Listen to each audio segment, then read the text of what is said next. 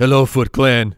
It is I, Mike the Fantasy Hitman, right? My face will be revealed on today's show. What happened? You'll have to stay tuned to find out. Hey, Foot Clan, want to invite you over to jointhefoot.com, our fantasy football community. We're always making it better, stronger. That's the theme song for it. Thanks, Kanye. You can go to Join the Foot. You can support the podcast. We're fully independent.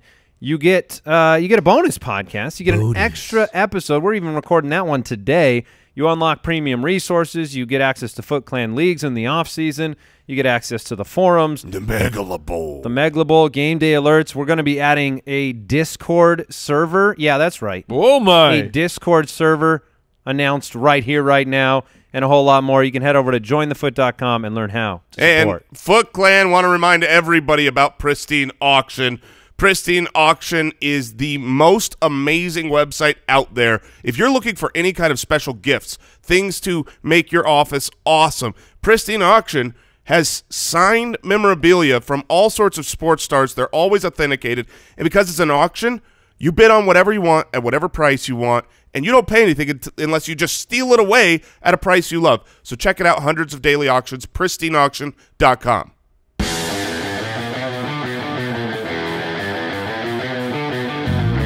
Welcome to the Fantasy Footballers Podcast, coming to you from pristineauction.com studios with your hosts, Andy Holloway, Jason Moore, and Mike Wright. Oh my goodness! Hey!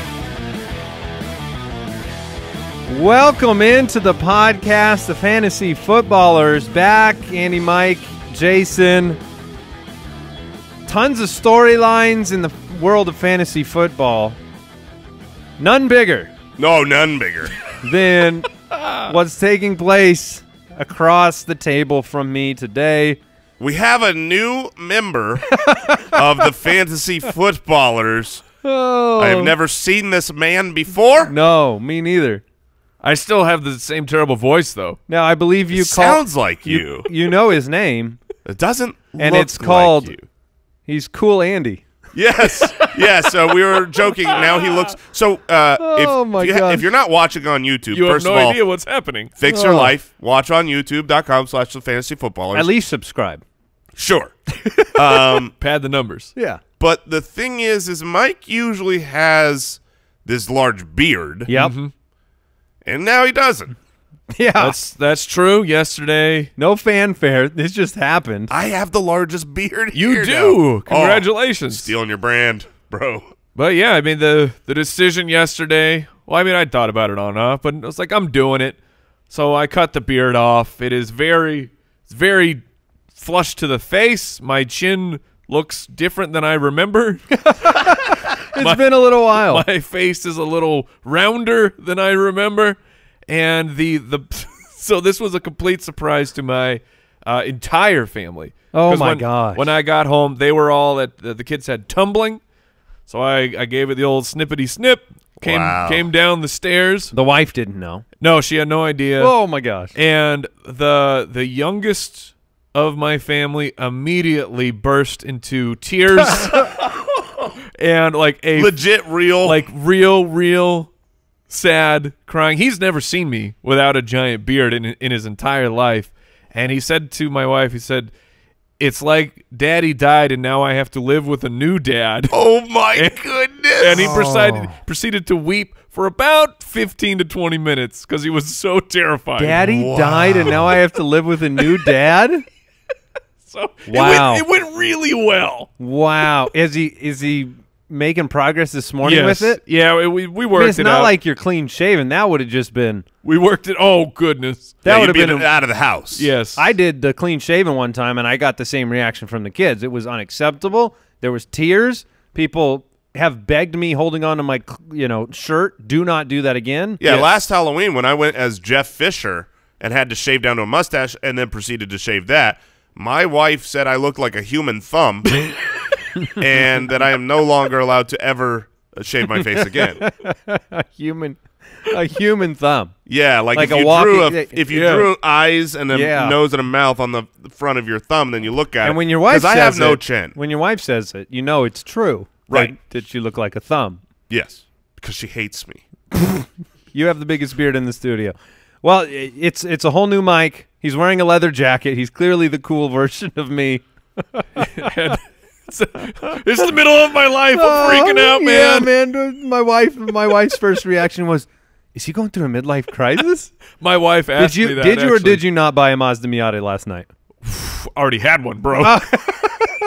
All right. Well, welcome in. Uh, we've got a Wednesday segment for Mazda you. Miata. Mazda Miata. Buy or sell, presented by Pristine Auction. Oh, it's a whole new day here in the office. Yes. All right, buy or sell presented by Pristine Auction. Week five, we've got an NFC East edition of buy or sell. Let's start with this one. Making his debut on the 2019 season, Golden Tate. Buy or sell, 50 receiving yards against Minnesota. I'm going to sell because I think he's going to operate close to the line of scrimmage and be worked in. And this is a bad matchup. This is a really good line, right? Because you expect him to get enough work, but I th- I think that the targets he's going to going to receive are going to be very uh, low value targets. So I'm going to say I'm going to take the under. It's going to be very interesting because Sterling Shepard has been playing very well for this team, but he's been playing very well uh, getting yards out of the slot, and that's where Golden Tate really thrives. So, like, are we going to see a situation where they're they're just arguing on the field? Like, hey, hey, Sterling, that's where I'm supposed to be, and they just keep swapping places, like game of uh, musical chairs. I'll buy it, and I'll buy it on the fact that Golden Tate was signed this past offseason to a four-year, $37 million deal for a reason. He gets to make his debut. You want to protect Daniel Jones. You don't have Saquon Barkley. I think I think we'll see more than 50 yards from Golden Tate. So- Fifty's not a huge number. no. I, but I'm man. You're a sell? I just don't know who's going where. Okay. Well, I, So I will imagine sell Golden- for that. All right. Chris Thompson, 50 yards receiving against New England. 50? 50 What yards kind of a line is this? I'm Chris buying. Thompson. Yeah, I'm buying that as well. He's he has failed to hit 50 receiving yards once this season, and that's because it was 48. like, I I am going to sell. Ooh. oh, And the reason I'm going to sell is because it is the New England Patriots. I think that they're going to keep things in front of them, and so you'll get some dump offs from Chris Thompson. But the difference is they're not going to be playing some crazy prevent where he runs for 20 or 30 yards like he did in several of these games where, you know, he got over the 50 yard mark. It's it's a good line. Obviously, he's done it three out of four times. He's certainly capable, and it's just a matter of what New England decides to take away. But I think that they don't want Chris Thompson to uh, run wild in the open, and they'll be prepared. Brooks, because we're competitive here and because I need to know, you you should give us standings on this week to week. I'd like to know how our buyer sells went from the week preceding and who Yes. who was right, who was wrong. That's a great idea. So now you have more job responsibilities. You will not be paid more. You'll be paid the same. Sounds great. All right, Amari It's a pretty Cooper. good deal. Amari Cooper, uh, does he have a top 10 wide receiver finish in him against Green Bay this week? Amari Cooper, a top 10 finish against Green Bay. It was a disappointing yet still better than Juju Smith Schuster week for Amari Cooper last week. fair. And Green Bay's they they gave up a, a significant amount of points against Philadelphia, but not a lot of yardage through the air for Carson Wentz. I a top 10 finish. Wow. I'm definitely going to sell. Tyron Definitely. definitely. Tyron Smith, left tackle, Sure. is out of the game. The few games we've seen without him, Dak Prescott is not the same when he does not have that protection. The Green Bay Packers defense has been great. Amari Cooper had a very good week one and was 14th, not top 10. So I'm going to say he doesn't hit top 10. I think this line is just a little too high for me to be confident. Yeah, top 10 is it's a tough place to get in there and like you were saying, Jay, that he had over 100 yards and a touchdown. And if he wasn't top 10 with that line, it's it can be pretty tough to get in there. He is at home, which really helps. So Amari Cooper, both home games have been very good. The road games he has failed to surpass 50 receiving yards. The the injury to Smith though is a, a massive concern. So I will sell a top 10. I think I'll join you guys. If if 19.6 fantasy points in week one wasn't good enough for top 10, that's a you know he's the, he's a wide receiver seven on the year, but that doesn't mean he gives you a top 10 performance every week. So I'll It's- take a better game. you than also last don't have you know you don't have help. If I'm the Green Bay secondary, their defense, I'm focusing on Amari Cooper and letting the Randall Cobb, Devin Smiths of the world attempt, and you know Jason Witten, who led the team in receiving last week, beat you. Not Amari Cooper. Yeah, so this- I'll, I'll sell it as a this- top 10 finish. This is one of those like you, you're taking the field. Like right now, Amari Cooper is my number seven ranked wide receiver on the week. And you go, well, you're saying he's top ten, but in reality, there's a bunch of people that you'll never guess that have big blow up games every single week hop into that top ten.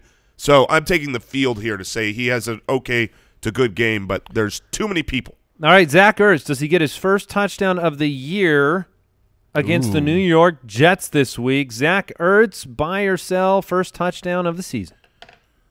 I'll go first again. I'm going to buy for the first time today. Zach Ertz has had eight touchdowns the last two seasons. That includes two seasons ago when he was only on the, I think he was around 110 targets two seasons ago. He's a guy that, you know, he's about an eight touchdown a year type of player. And we're going into week five. He doesn't have his first touchdown. Dallas Goedert caught one. He's he's a great weapon near the goal line, and I I think he comes out on top. It seems like DeSean Jackson is not going to play. Have It you does. guys read No, anything? Not been positive. No, Okay. there's not really a lot known about how he's progressing or how long it's going to be, but it's definitely trending in the wrong direction. So probability wise, he's he's still got. It's, it's a much better chance with Djax off the field, but I'm gonna I'm gonna sell. Well, eight. I mean, this is yeah, just this is just kind of fluky stuff. Betting it on is. touchdowns. well, so- even even even bringing up the eight touchdown line, that would be a touchdown every other game. That'd be a 50-50. and so you flip a coin here. I'm gonna I'm gonna sell it.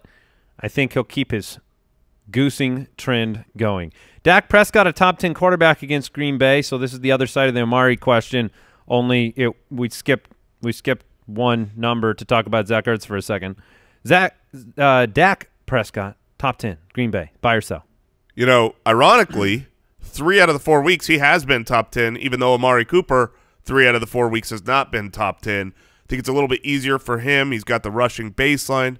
That being said, I believe Green Bay's a good defense.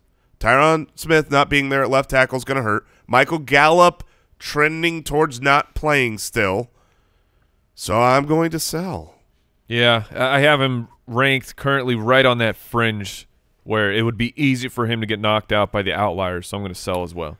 Last week, Carson Wentz in Green Bay finished at 10 on the dot. And he was gifted a lot of things to Yeah. finish at number ten. Carson Wentz has not finished outside the top 10 a single week so far this year. I'm going to buy Dak at the back end of the top 10.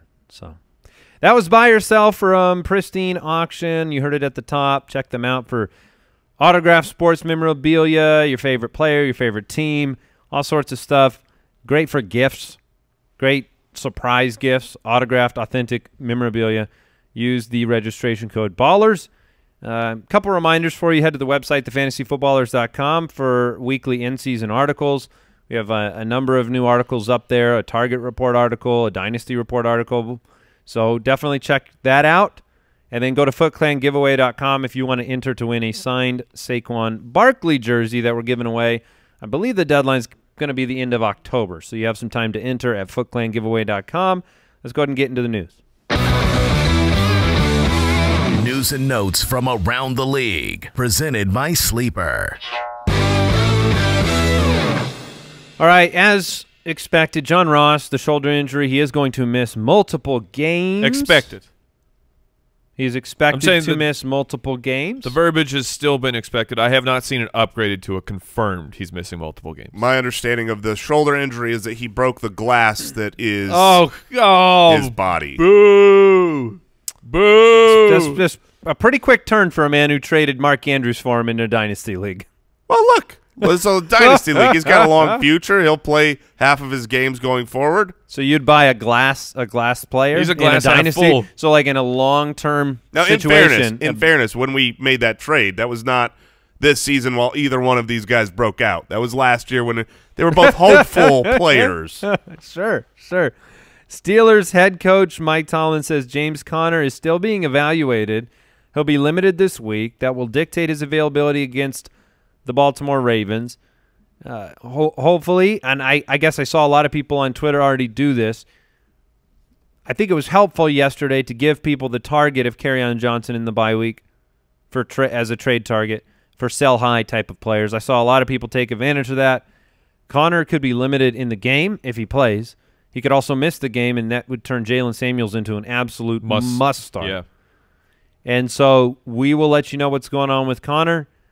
I think this is the second time this season that we've dealt with kind of him yes. being banged up. Yeah, it was his knee, I believe, the first time. There's a lot, lot of issues there, and coming off of the nice game, if I could unload that big name, I would. Eagles wide receiver DeSean Jackson, as we said, remains sidelined. We'll keep you up to date over the course of the week. It's not been suggested that he's playing this week. Sam Darnold will practice today. That's good. That's good news. Uh, it, it still does not mean he's going to play this week. They can practice with him and not hit him. It's a matter of the spleen. It always is. It always is. Tyrell Williams did not uh, practice today. Monitor that. Williams has been actually one of the more interesting, consistent performers at the wide receiver position. He's catching touchdowns. Yeah, but it's happening uh, with you know eh, often. So we'll see what happens. He's the wide receiver 14 on the year right now, but we'll keep you up to date with that. Gardner Minshew has emerged on the injury report Ooh. with a knee problem. Mm. We'll see if he's limited. And then Vernon Davis was placed in the concussion protocol and is probably highly irrelevant for your fantasy team this week against New England with possibly Dwayne Haskins, oh, who may actually be the first player in NFL history to take the snap from a seated position on right. the ground. Or just one knee, like yeah. one knee on the ground, and yep. this is he's giving himself up. Right. Immediately. Gruden, Gruden, look, man, we talked about this. we know you're up against it. You can't do this to Dwayne. Don't play him. Also, can we it's go? not fair. Can we go back a few seconds and talk about the verbiage of Gardner Minshew emerging onto the depth chart? Like, this is usually a really good like Gardner Minshew has emerged victorious. Oh no, has emerged with a knee problem. Like I thought the language was very suspect as well, Jason. Yeah, I didn't write it, but if I did, you're Ron Burgundy. it, it's just very. Uh, it, it, made me have a mental picture of him climbing kind of out of. I want to start doing this. The so injury I want, report. I want to be much more positive. You know what I mean? We talk about like, oh no, this Confusing this MRI came back positive right. which means it's negative, but yes. like it sounds better. So I think what you meant is that you want to be way more confusing for people. Sure. Yeah.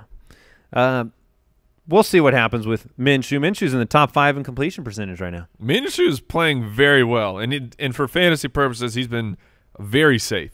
All right, drop it like it's hot. Reminder. That's where you. That's normally where. Drop you, it like it's hot. See, if you're paying attention, you would have been there. Drop it like it's hot. What does that mean, Mike? That means you the waivers just ran, so you you run to your waiver wire and see if someone made a foolish mistake and dropped a player that they should not have. They usually do. They usually do. You are right. In our league, which the waivers just ran, Jared Goff hit the waiver wire. Yeah, it's fair. He's Ooh. his in Seattle. Josh Allen with the concussion in the bye week hit the waiver wire. I'm sure Mike doesn't want these things announced, but uh, I in fact dropped Josh Allen, so I already knew that was going to happen. Yeah. Are you going to pick him up? Drop it oh like it's crap! hot. Somebody dropped Josh Allen. Drop it like it's hot. Worked. News and Notes is always brought to you by the Sleeper app. Don't miss a single piece of impactful fantasy news throughout the season. Download the free app today. Why don't we thank today's sponsors for their unbridled support of this podcast. We will do that. Hey, Foot Clan, are you an Amazon Prime member? Probably. Yes, I am. Mm-hmm. Did you know that you have Thursday night football? That's right. Thursday night football has returned to Prime Video for a third season. The cool thing is you can catch all the action on your TV, web, mobile, anywhere in the world, and the experience is next level. With Prime Video's X-Ray feature, you can access next-gen stats, play history, team information, and now it's available on iOS, Android, Fire tablets, and Fire TV. If you're ready to hear a new take on the game, You can switch over to broadcast legends Hannah Storm and Andrea Kremer for play by play. So if you don't have cable or you simply want to experience the future of football, tune in this Thursday. Coverage begins at 7 Eastern and kickoff is 8:20 Eastern. Also available on Fox and NFL Network, NFL Network simulcast, subject to change. Thursday Night Football is presented by Bud Light Platinum.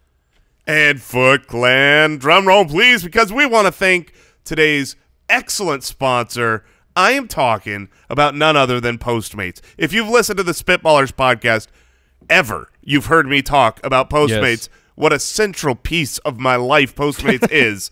Look, it's your personal food, grocery, whatever you can think of delivery service all year round, 24/7. No more trips to the store. No more having to say, "Oh, I'm hungry. We don't have anything to eat." Boom! I got something to eat at my door, delivered wherever I want. And look, they're like they're the biggest on-demand network in the entire known universe. More than 25,000 partner merchants. And if we could be a partner merchant, if we had anything to, to deliver, Yeah. I would sign up and make it 25,001. But here's the coolest part. For a limited time, Postmates is giving our listeners $100 of free delivery credit for your first seven days. To start your free deliveries, download the app right now and use the code FOOTBALLERS. That's code FOOTBALLERS for $100 of free delivery credit in your first seven days when you download the Postmates app. Get anything you need, anytime you need it. Download Postmates and save with code FOOTBALLERS. Here's a funny story about Amazon Prime that these guys like to troll me on. We don't live very far from one another. Would well, you- not Amazon you- Prime, but Prime, now. Prime now. We're all Prime members and Right. have been for years. And uh, before I moved into this house, like Prime now is also a regular part of my life, and Our homes are very close. Like like across the street. they are so close, you could actually make it with a drone flight. Hanging. Yes. Yeah, I could, I, you're exactly right, Jason. Thank you. That's 100% right.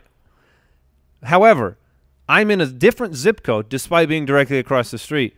And my zip code is basically the bottom of a massive stretch of land north, and so Prime Now doesn't come to me. Yeah, I think your zip So code is a includes public- the Grand Canyon. Yeah, yeah. So these guys have frequently had certain pizza shops and Prime Now all delivered to them. But they won't deliver across the street. And then the I'm in the boonies across the street. That's right. So, all right, today we we have some snap count data we're going to look at. We've got some mailbag. We have a Thursday night preview. Let's kick it off.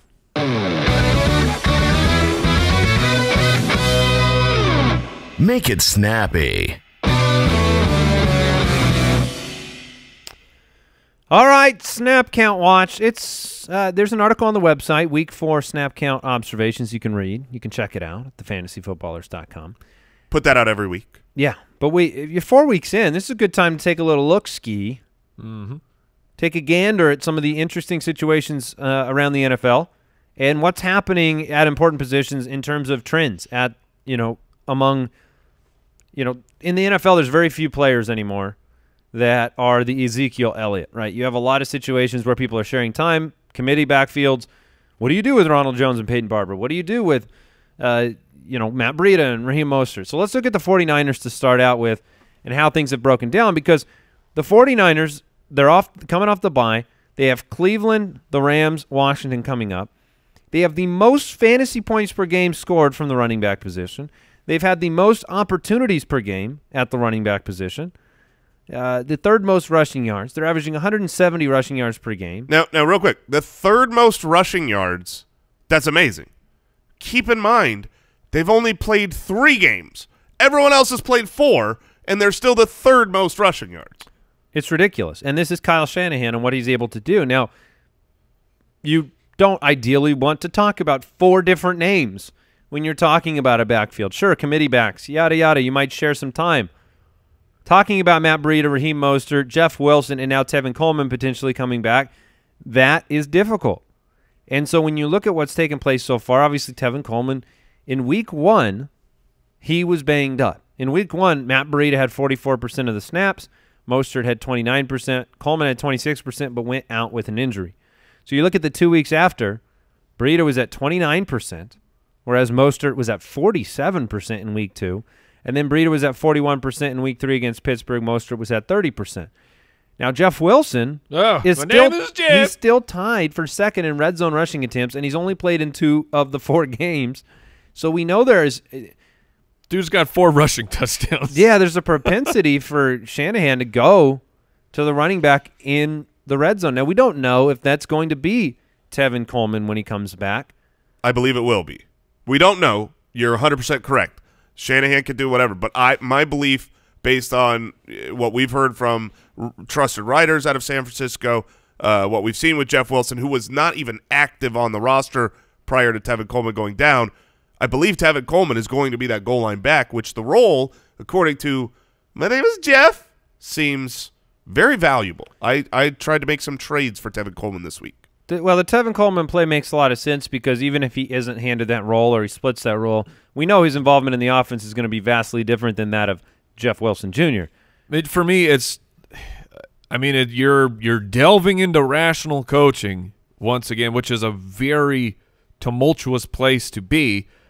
But the fact that that role, the goal line role, was given to Jeff Wilson, who was not even active for the team week one. Like they said, okay, this is your job.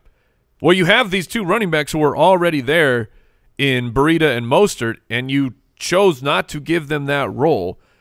I mean, it, that to me speaks that Tevin Coleman would be the one to get it back, unless they're they, they go full wacky and play Well- four running backs. Yeah, and and if you want to look at it from a different perspective, I would only I would simply say that you want to hand, you know Matt Breida has had issues with injuries, and there's a certainly a certain amount of touches and workload they want to give him.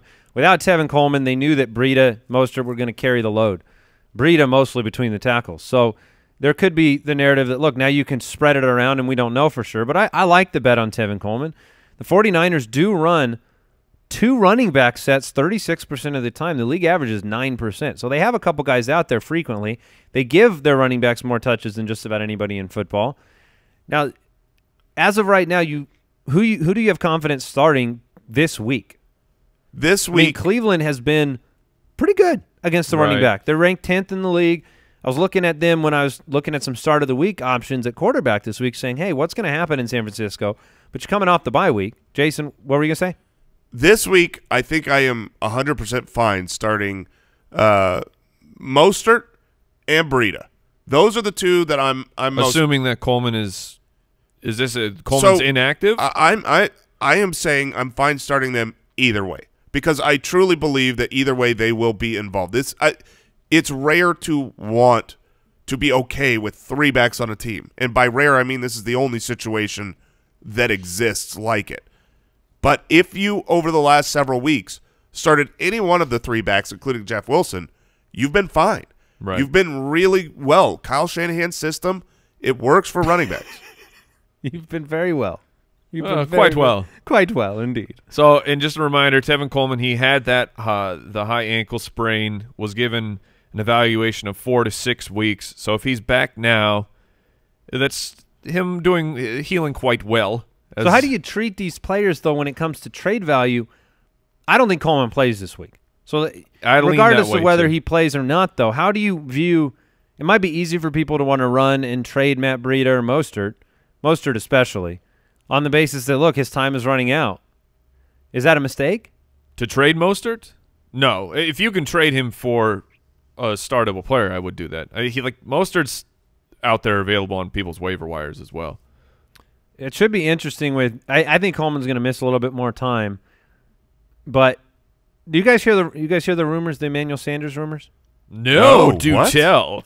There's been some rumors about uh, San Francisco's interest in acquiring em- Emmanuel Sanders, and with the Broncos being at 0 and 4 now, Emmanuel Sanders and Chris Harris Jr. both potentially on the trade block as they look to rebuild the team. So Interesting. you know, the, there's an interest there from Shanahan. Shanahan likes Sanders. I don't know what that would mean for Sanders. I imagine it's worse. Uh-huh. That's the way I kind of envisioned it. Shannon uh, Sanders is just great, so I think he'll That's be. true. I think it will be okay. The Shanahan system can put up some pretty prolific passing numbers as well if they have the weapons. And my dynasty shares of DaeSean Hamilton's smile at the at the thought of this happening. Yeah, I mean, it, I I don't know how much you buy into the rumors. I mean, this was speculation based on some people around the team, but it would make Courtland Sutton a very attractive trade target Yes. because he's already him and Sanders are both pretty much neck and neck on the season, and if If it's Sutton and Hamilton, now we had that chance last year with no Emmanuel Sanders. It didn't come to fruition, but Sutton's looked like a better player this year. Rookies, yeah, much So better guys. if Tevin, Rookie's gonna rook, Mike. Yeah, you always you always do. say that, not me. if Tevin Coleman is out this week, which right now is a little early to tell, but it does seem like he's not ready to come back yet. If he's out, obviously you could start Breida and Mostert. What about Jeff Wilson? no, I'm not gonna do it. Not going to roll the dice. I'm not. I'm not. All right. What are things looking like in Denver at the running back position? You've got Lindsay and Freeman. It's been kind of a rough ride. You had a very strong week three for Phillip Lindsay. He had 25 touches in week three, 56% of the snaps. I But hate, then week four, you know, Royce Freeman, 62% of the snaps. Phillip Lindsay, 45%, 10 touches to each guy. This is if you look at the snap counts and you look at the trends, you realize there are no trends. There's not a trending up player or a trending down player. It's 50-50. One week it's 53-47 Phillip Lindsay. The next week it's 52-48 Royce Freeman. The next week it's 56-49 Phillip Lindsay. The next week it's 45-62 Royce Freeman. It's just it's a 50-50 split. And so and you can't even make the argument of well, I want Phillip Lindsay because he's the goal line guy. He is. Well, I want Royce Freeman because he's the passing down guy. He is. They're they're more involved in those two roles. It's just a 50-50 split of a bad offense. That makes it very difficult. Makes it stupid, man. Don't you're these coaches from know we very play fantasy? You're, you're speaking from a very visceral Royce Freeman ownership perspective. yes, I am. Also, a man who flexed Royce Freeman last week. yes, I did. So you would love to see clarity in production, and I don't think you're going to see either. No, not until the the only clarity that's going to come here is injury. Nobody is winning this job outright. They're both playing very well. I, I believe that uh, you know the eyeball test. They they're doing their job. I don't see why the coach would change what he's doing. But if an injury happened to either, then you've got value here. If you look at it on the course of the season, you've pretty much been happy playing them once each over the course of four weeks. right. And, you know, Lindsay had the monstrous game against Green Bay, but you drafted him to be something. And then, you know, finishing 31st, 30th, and 42nd, that's not exactly the upside you need to help your team. Makes for a really tough situation. Are there trade options? Would you would you look to move Phillip Lindsay on the heels of last year's big uh, you know, you had the big game in Green Bay. Last year he was I don't think you can get rage. anything from last year. Like we're we're four weeks in. That last year's equity is gone. You might be able to get something for Phillip Lindsay this year. well. Here, here's a He's the horrible running back 15 on the season. Two weeks ago, he was the running back three. Had a big blow up performance.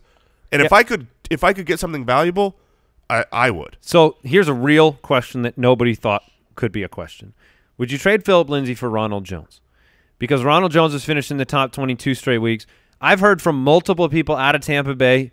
We didn't have an official report on this, but multiple people contacted me around the team to let me know that in week two, the anomalous week two of Ronald Jones's disappearing act, that he, and they were vehement, he came off the field with the toe injury. That's why he did not play in the rest of that game, which I, I believe. There were some rumors right away on, in that game. Nobody came out and publicly stated anything. But if you take that game out, if he was hurt, and that's why he didn't see the field, because it wasn't like he saw the field and wasn't productive, 26th, 19th, 17th for Ronald Jones.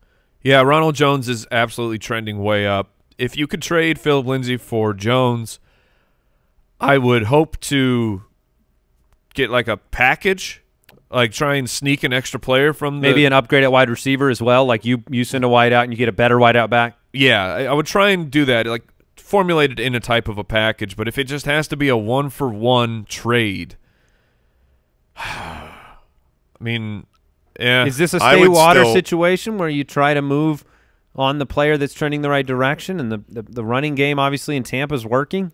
I would, I would personally still take Lindsay. We've seen the talent work, but I totally understand the argument.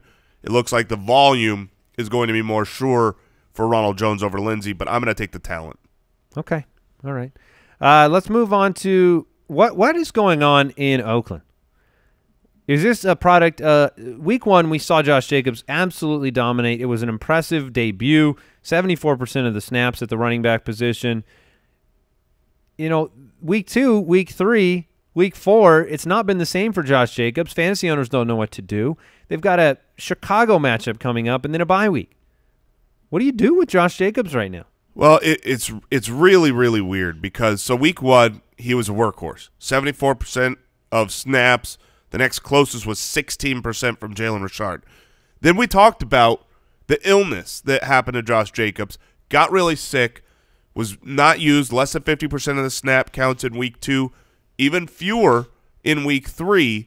While the other two guys there, Jalen Richard, Jalen Richard, oh my goodness, Jalen Richard uh, was go. 31 and 49 percent snap share.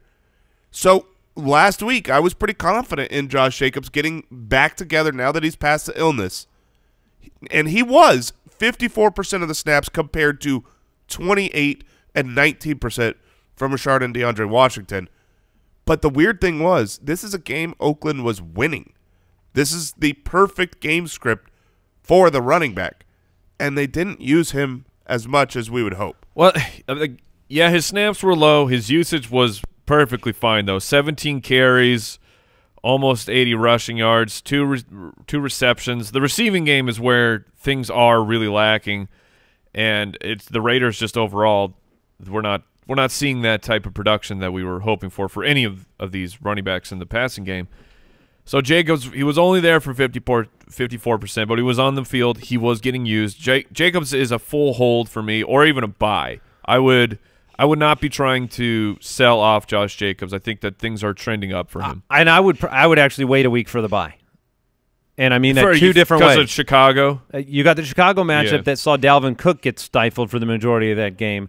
I don't think Jacobs is going to be on the field as much if they're playing from behind in this one.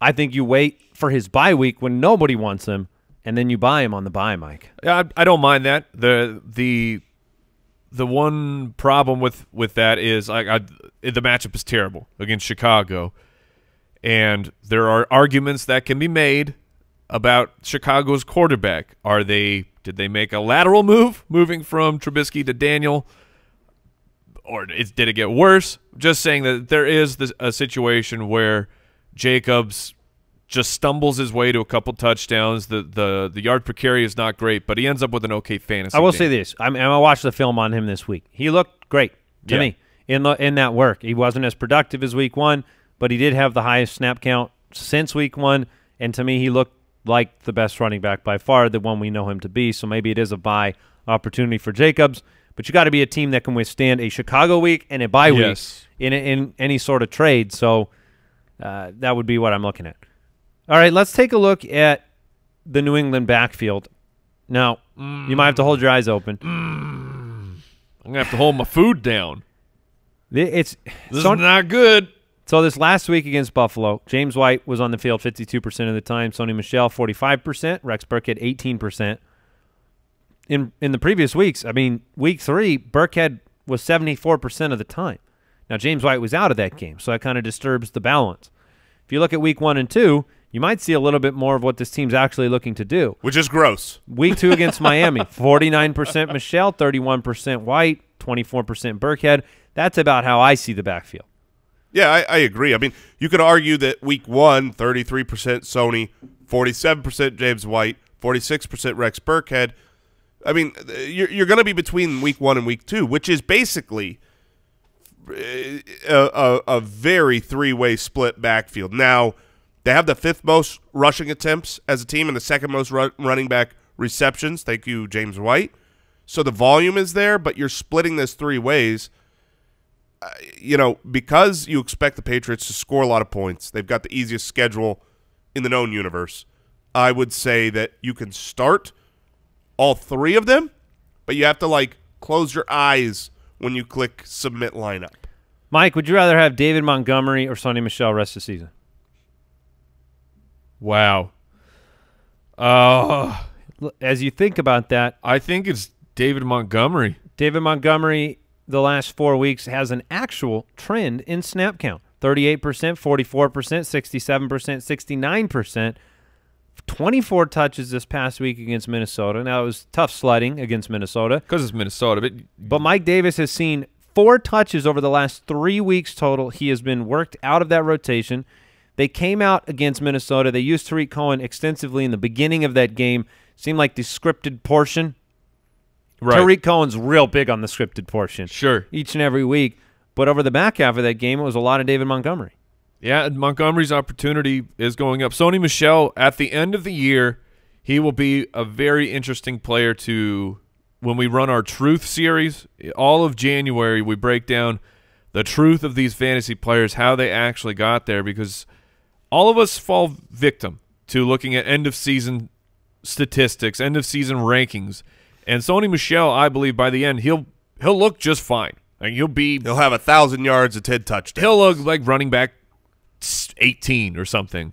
And you got to be reminded how did he actually get there? And I would prefer David Montgomery's path where I know that the work is going to happen on a weekly basis instead of Sony Michel where I'm just crossing my fingers hoping that the touchdown comes. Should Tarik Cohen be owned?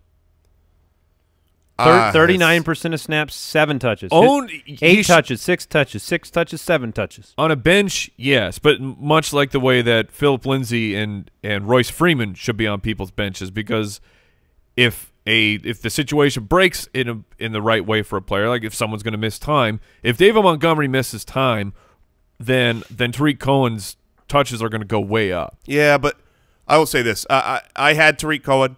I've dropped him already. Moved on. Needed to make some roster moves. I totally get he's worthy to be on a bench if you've got that luxury.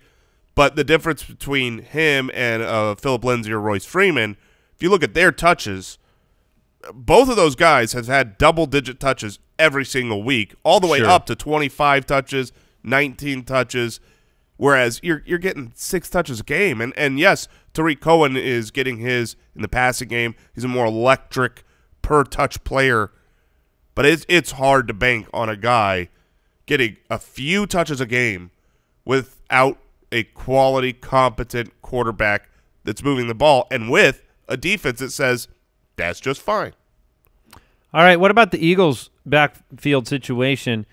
In weeks one and two, Miles Sanders was at 48%, 43% of the snap uh, percentage.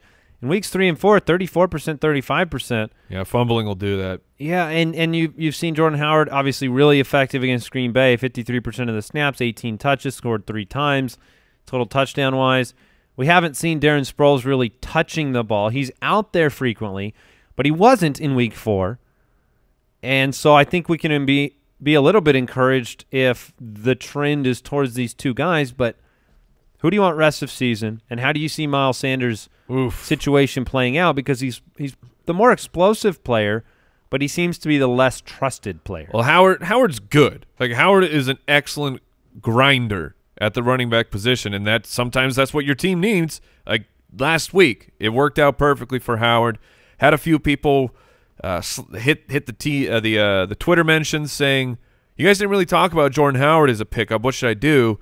And I was like, "Yeah, you can pick him up, but I feel like if you're picking Howard up to play him." you are just chasing those points of last week. Uh, he he has overproduced immensely in the touchdown category, padded by that multi-touchdown game he just had against Green Bay. He's an okay play every week. Between him and Miles Sanders, though, that's where the conversation gets much more difficult because I want to stash Miles Sanders for the unknown upside if he actually starts getting the work. But on a weekly play, Jordan Howard probably is the better play, the better Eagle because he's getting the goal line carries. Yeah, you've got a rookie who's talented but troublesome, has cost them some, you know, uh, drives with fumbling, and then you have Jordan Howard who has been keeping drives alive, scoring touchdowns, being efficient, being a quality vet, and this is go if no matter how great either one of these players play, I think we can I think we can be confident that Doug Pederson is going to use a committee.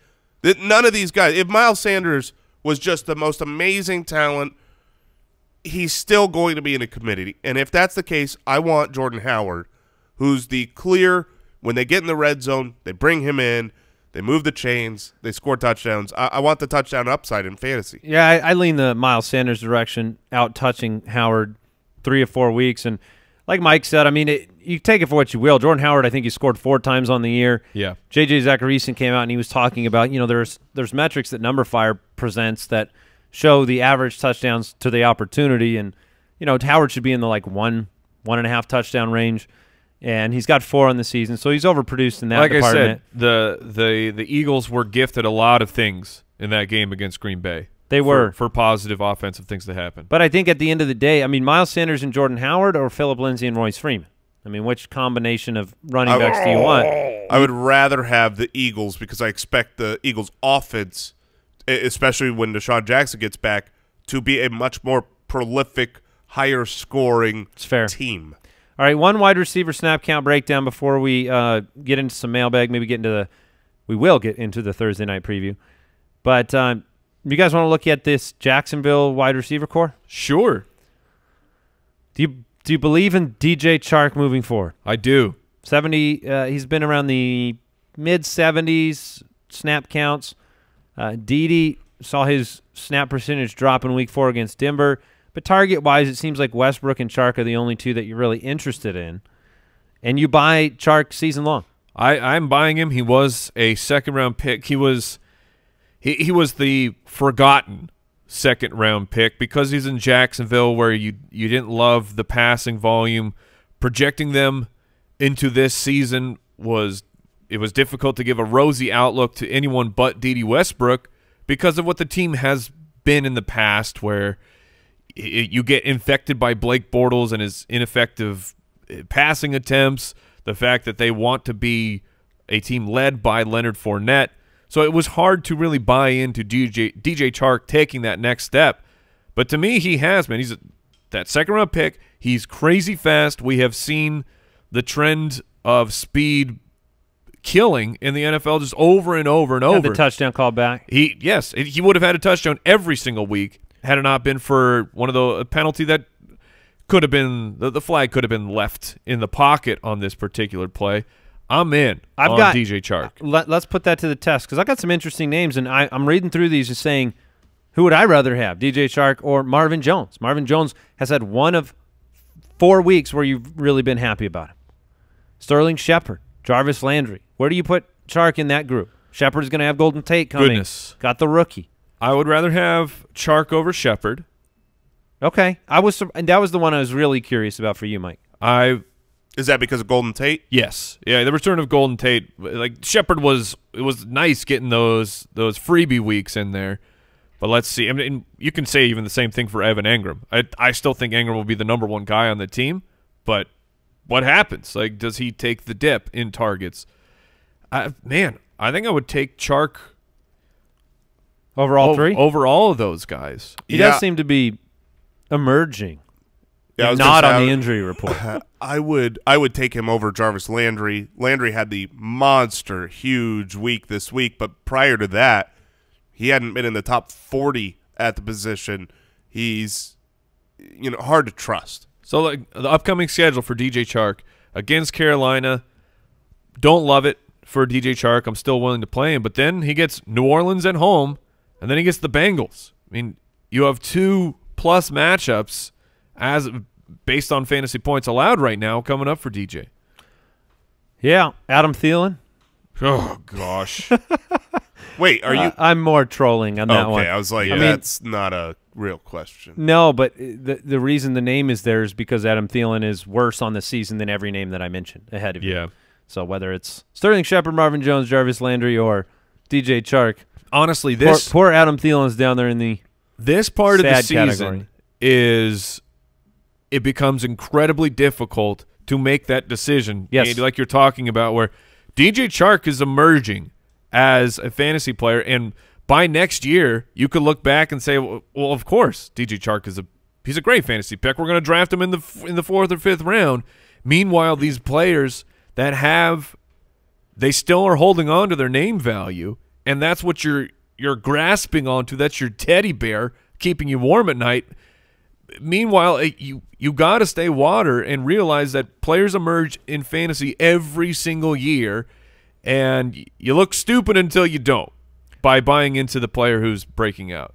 I, yeah, that's absolutely right. And there are certain players that you are kind of you're handcuffed and you have to stick with the Right. Hopkins. Oh, yeah, I'm not talking Julio. about those guys. But when you get into that middle tier, and you're starting to be frustrated week in and week out, it's very hard. It's hard to pivot, but it's hard to stay. It's hard to keep throwing a player out there over and over again. like a, a player. So for for Thielen, I get it. I'd Yeah, be staying with Thielen, but go to the, his counterpart, Stefon Diggs. You want Stefon Diggs for the rest of the year? or You want DJ Chark? I don't want that question. Exactly. what I don't want. Exactly. I didn't want it either. Thursday Night Breakdown. All right, the three and one Rams take on the three and one Seahawks. The game's up in Century Link. The Seahawks are one and a half point favorites at home, 49 point over under. Last year, both of the Rams Seahawks games went way over their Vegas line, and the 49 points, that's a nice line to begin with. We saw Jared Goff throw the ball 68 times last week. We saw a very efficient performance from Russell Wilson, but they didn't need him very much in Arizona. On the year, Wilson has been great. So far, so good on the fantasy production for Russell Wilson. He ranks 10th in passing yards per game, uh, which is up from his career average. He's got a career best 72.9% completion percentage. And then you've had Jared Goff be extremely I think I think the consensus that I've heard from national media and from my eyeballs is that this isn't quite the same team that we saw last year. I mean, it's just they're not throwing the you know Gurley's not Gurley, Goff's not Goff, Woods up until last week hasn't been Woods. They're winning games, and they were right on the precipice of winning against Tampa, obviously, but them losing that game at home against Tampa shows you that they're not quite what they were last season. Yeah, I was going to say last year both of these games hit the over because the Seahawks can do whatever it takes to win. If they're down, if they need to score a lot, they can. They have Russell Wilson. Not what they want to do. But the Rams last year were scoring on anybody and everybody the last Yeah. two years. That's not the Rams we've seen so far this season. Would I, I? I don't know that I would take the over here. In fact, I'm a little worried about Jared Goff. He he has not been great. We've talked a lot about the home road splits. Now he's on the road. In one of the worst places to play. Absolutely, the twelfth man is real there in Seattle. So this is one of those like I'll, I'll be honest, and this is gross. I apologize to both of you first and the Foot Clan for even speaking this out loud. But I have Jared Goff, and I am contemplating whether I'm starting him or Andy Dalton. Yes, live in the stream, bathe in its refreshing waters. yeah. So I, I I have not come to a decision, but I need to obviously. Wait, what league tomorrow. is this? It's a league, you know. It's, it's a league you know and love. Okay, Jason. I could I could take the thirty seconds and go research it, but just tell I me know what it's league not League it. of Record. I believe this is the listener league. Okay. So hold is Jacoby out there? Uh, no. Oh, okay. You yesterday you blew my mind talking about Andy Dalton on the show as your streamer of the week. Look, it's not Today a, you're it's blowing not a my bad mind. Play. Today you're blowing my mind with the Dalton over Goff. I will still trust in McVay, Goff, Kupp, Woods, Cooks, Gurley over Dalton, Auden Tate, Tyler Boyd, Tyler Eifert. Yes. No, I completely So- agree. And in the fact that John Ross this is your team. out hurts big time. I mean, this was a decision that I had I had picked up uh, Dalton last week for this. Now Dalton had a horrific Monday Night Football. Goff threw the ball more, so it, it probably will be Goff. But that's the world we're living in here. Sure. All right, these two teams defensively, what are you expecting them to do with Gurley and Chris Carson? Carson last week, you know, he's averaging 20.5 opportunities per game. He got charted with 21 broken or missed tackles in the game. Cardinals will do that to you. How is that possible? That's an unprecedented amount. And we were there. We saw Chris Carson consistently gain an extra yard, two, five, 11, and he looked great. But Rashaad Penny is supposed to be active and available in this game. This is going to be extremely interesting. If I have Chris Carson, I am playing him with full confidence. However, like the this this storybook that's playing out for Chris Carson is going to be fascinating because he was losing work, losing potentially losing his job to Rashaad Penny because of the fumbling. Penny misses the game uh, to Chris Carson's favor, and Carson delivers against a, a bad defense. So it was that enough for Pete Carroll to call to to fall back and and and pull things back on trying to force Rashaad Penny out there a bit more. Yeah, I think yeah, you see is. more of week one and two, and the Rams are giving up 23 and a half fantasy points per game to the running back position, which is 25th in the league. So you have to start Carson. One hundred percent. That, I'm, I'm playing him, but I'm saying what to watch for is what do those snap counts for, for Penny actually look like? Because there was there was a lot of bro size in the red zone and on the goal line. Garbage. You got a touchdown. Yeah. Was that his only touch of the game? Oh Uh, no, no. no. He was unfortunately getting uh, the ball. He got three touches. Three. see, was not his only touch. Such conviction. I was right. I remember him out there. You you you're the rightest. Um, Carson, we're playing him. Gurley, we're playing him. Through four weeks, the Rams have the fewest running back receptions in the league, despite Gurley's seven receptions this past week.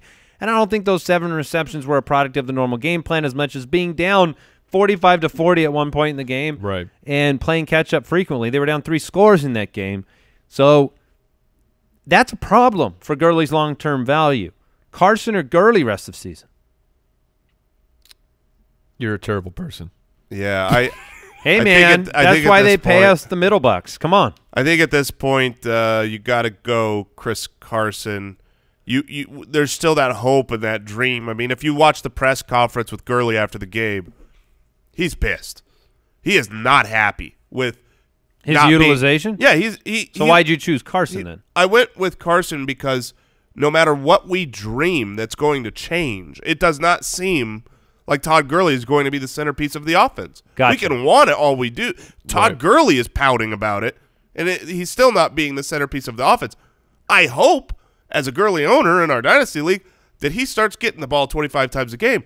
But I just don't see why would that happen. Like it, it would have happened already. Well, Yeah. it, it could happen because they don't look very good and they just lost. Putting the putting the ball in Jared Goff's hand 68 times did did not result in a victory. Yeah, they needed more.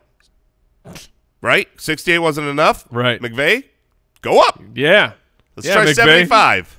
It is interesting rushing yards per game obviously we the narrative has been the Seahawks that's how you win the football game for Seattle.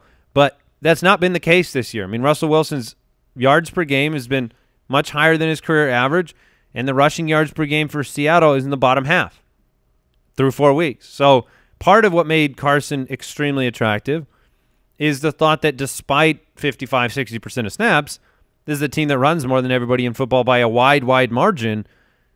I think they'd love to get back to doing that, So in, the, it hasn't part of to that fruition yet. Part of the narrative was that their defense was going to be able to figure it out, and thus far, they have not. But they didn't figure it out last year, Well, Their right? defense- I mean, they didn't figure it out last year, and they still ran the ball. they were they were better than they are this year. Okay, well, Arizona helped them Yeah. from a season-long statistical standpoint. Tyler Lockett, you're playing. Yes. Kupp, Woods, Cooks, you're playing. Yes.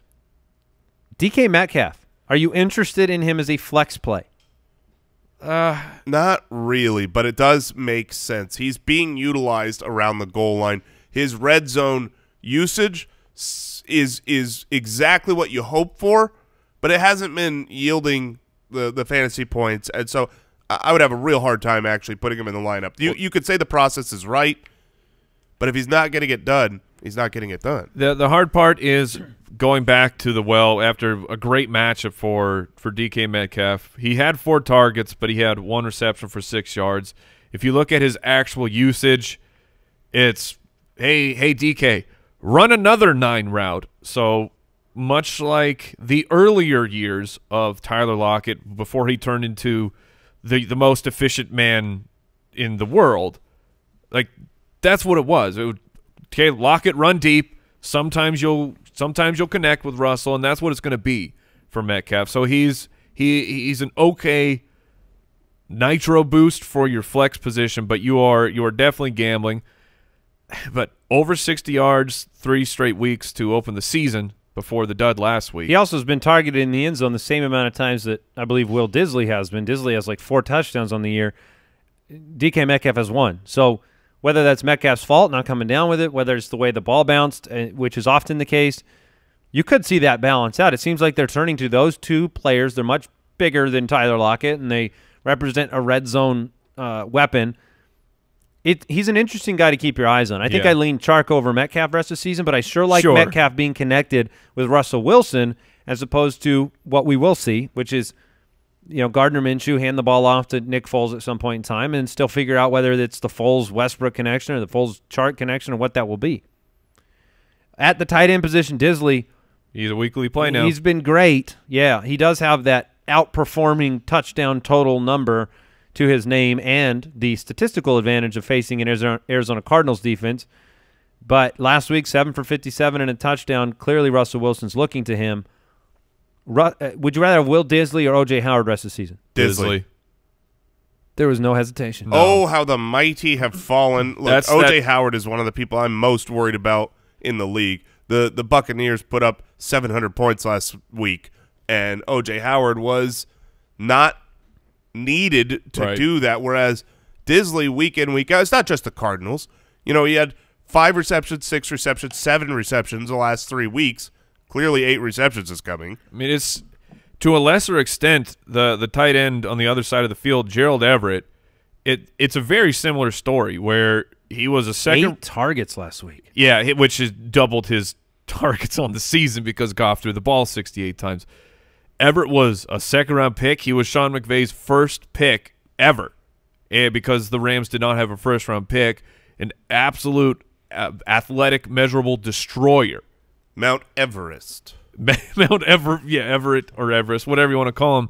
But it's just it, it's not it's not happening because the scheme, Sean McVay's scheme, does not need to utilize the tight end, and Coach Arians, his scheme does not utilize the tight end, and that's what we're seeing. It will be interesting. Here's a fun fact from the game. Russell Wilson has never thrown for over 200 yards against a McVay-led Rams team. Ooh, And we know that the Rams have some pretty solid corners. However, I will. I'm taking week, that this is the week that he breaks that. He breaks it. Yep. Okay.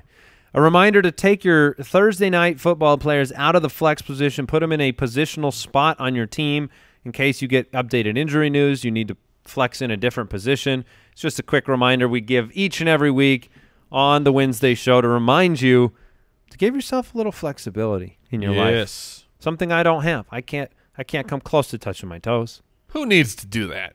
That's what I'm saying. Based on my flexibility. So, uh, I just that was an incredible stat. The not throwing 200 Right. yards against McVay. So I went and I looked. I just wanted to vet it. Both last year and the year before, 198. Yeah. both times. He's right there. Yeah, that you should set your goals higher, Russell. Yes. It's got to go higher than 200. Hey, we want to thank the studio sponsor, Pristine Auction, for uh, sponsoring this podcast. Evan Engram signed jersey yesterday, $58.97. Check them out at pristineauction.com. Use the code BALLERS. Tomorrow, starts of the week. We'll talk about some matchups. We'll get you updated with injuries, get you ready for week five. Goodbye.